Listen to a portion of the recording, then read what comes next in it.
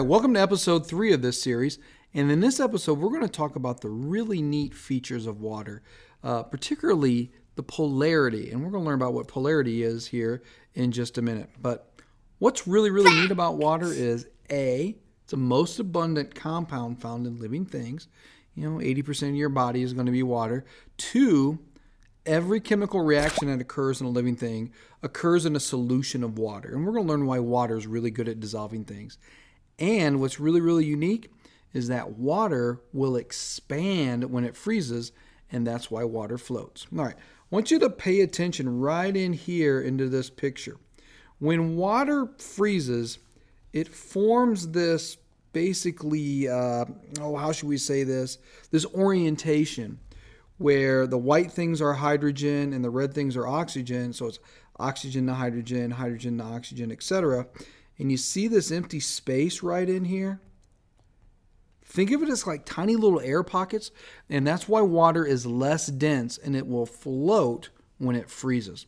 And that has a huge impact on our climate because if you imagine if, if ice would sink, parts of our ocean would be nothing but pure ice from bottom to the top, especially around the Arctic and the Antarctic. So ponder that one the next time you see uh, ice floating. All right, let's move on to our next slide. All right, polarity. That's the key feature when it comes to water. Polarity. And I want you to think about what polar means. Polar means opposite directions. So I want you to think of like a battery, like a double A battery that you'd put in a camera or, or a electrical toy uh, or body battery operated toy. Or also think about our planet, the globe. You've got a north pole and you've got a south pole. They're opposite sides. Now, how is water um, polar? Well, it's polar because it has an unequal sharing of electrons. Now, I want you to remember that polar, or I'm sorry, let me rephrase this, that water is a covalent uh, compound. And covalent simply means that you share electrons.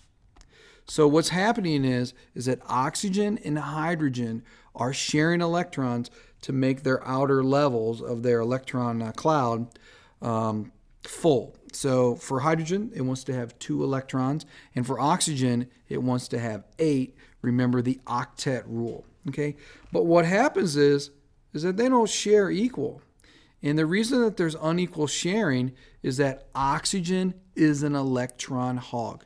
Now I want to zoom down here on this picture.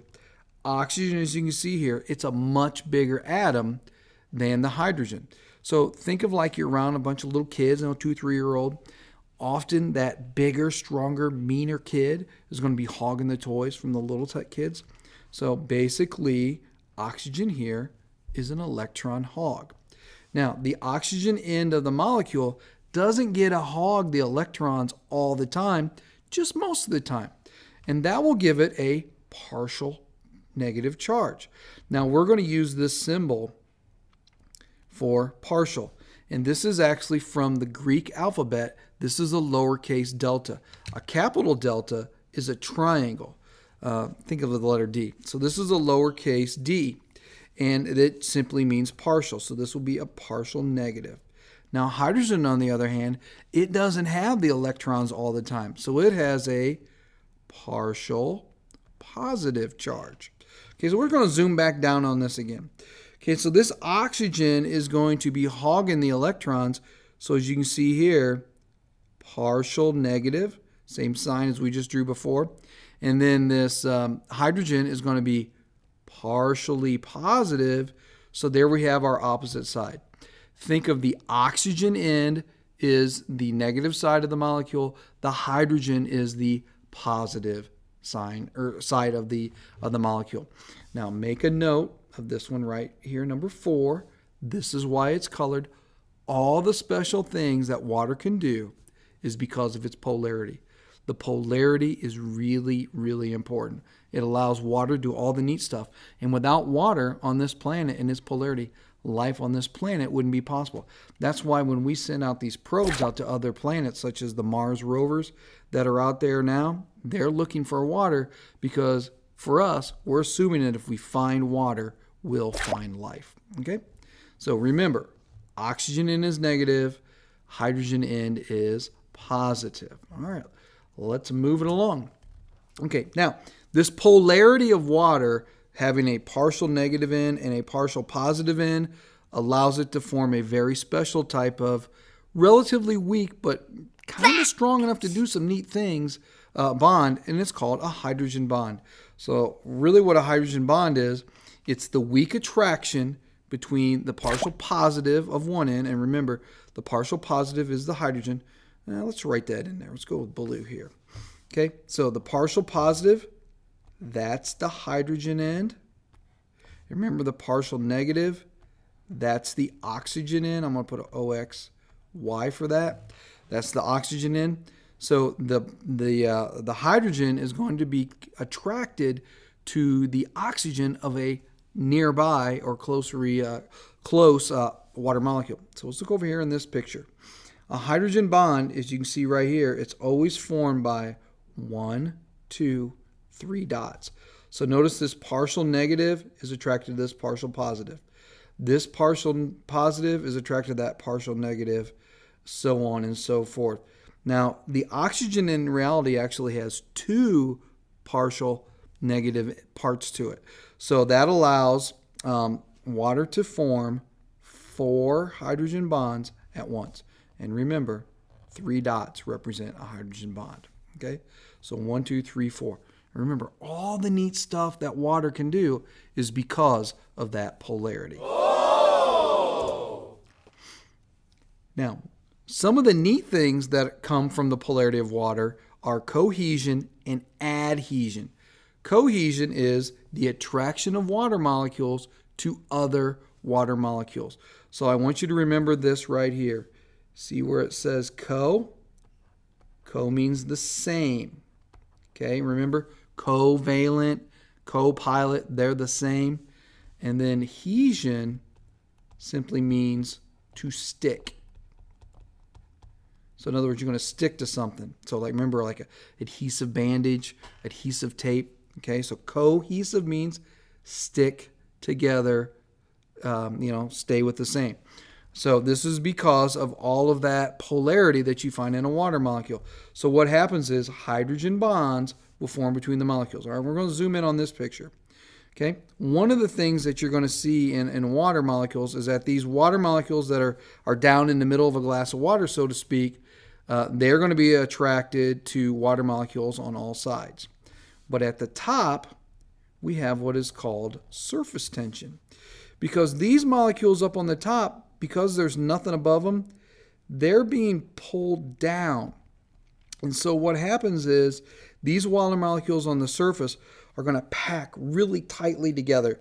And you have this very thin film on top of the water. Now, certain organisms such as this water strider that you see here above, they can sit on top of this film. So you see this dent right here from its feet on top of the water? That dent is because of surface tension. Now, surface tension is also the reason why water droplets are round. So look down here on this bottom picture. All these water molecules that are on this surface of the water droplet are being pulled inside due to cohesion. Now, I'm going to go back here to the surface tension. Remember when you're a little kid, or maybe over the summer, you're on the dock, or you're on a high dive, or you're on some kind of dive at a pool, and you do a belly smacker? The reason the belly smacker hurts is because your skin is smashing into this thin film of water, and before you can break through it, you know, it's you know it's causing some pain. So belly smackers are the result of surface tension. All right, move on to the next one, and this will be our final slide of this video. This is called adhesion. Now, just like before, uh, let's do a different color. Let's go back to purple. The ad means simply different. And then the hesion part, remember that means to stick. Okay, so what happens here is when you have adhesion, you're sticking to something different than you. So remember we talked about like adhesive tape and adhesive bandage? When you stick a band-aid on, on a cut, you're not made out of band-aid, you're made out of human. So when that band-aid is sticking to you, that's adhesion because it's not band aid to band aid. Now, if you stick band aids together to each other, that's cohesion. You're sticking the same together. How adhesion occurs is because the, the band aid, for example, is making hydrogen bonds with your skin. Now, capillary action is an example of adhesion in action. And capillary action is defined as uh, water moving up very small diameter tubes. So as you can see here, we've got a dish of water and we have different diameters of tubes. Now, here's a neat little fact I want you to see, and it should be obvious here in this picture. The smaller the diameter, the higher it will go up into the tube. Now, if you look inside the tube, and I'm sure your science teachers have told you this before, that when you're measuring water in a graduated cylinder, you're going to measure at the bottom of the meniscus. Meniscus means curve. So you're going to measure right down here at the bottom. So let me, let me go back over here to this picture. The part of the meniscus where it goes down, that's called by surface tension. And remember, surface tension is a form of cohesion. But the part that's moving up, that's caused by adhesion. So we always want to measure in a graduated cylinder or a test tube or whatever at the bottom of the meniscus. Okay, so let's review. Polarity. This is an unequal sharing of electrons. Oxygen in is negative, it's the electron hog. Hydrogen in is positive. Those opposite sides is polarity. All the cool stuff that water can do is because of this polarity. Uh, polarity leads to two really important types of uh, interactions. One is called cohesion. This is the attraction of water molecules to each other. The other one is adhesion. Adhesion is the attraction of water molecules to other substances. The reason why water molecules are going to be attracted to itself and certain other substances is because it can form hydrogen bonds, which are the weak attractions between the hydrogen end of one water molecule and the oxygen end of another. So, until the next episode, we're going to catch you on that flip side.